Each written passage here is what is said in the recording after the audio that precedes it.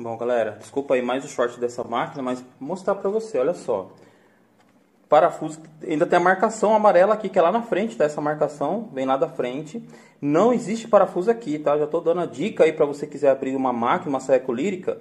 Não pode ter esse parafuso aqui. Esse parafuso tá correto, esse aqui não está. Eu vou tirar ele. Ó, tirei. Porque você precisa não ter parafuso, precisa ter um molejo a máquina. Ó, tá quebrada aqui, ó, quebrou. E quebrou por conta desse parafuso, tá?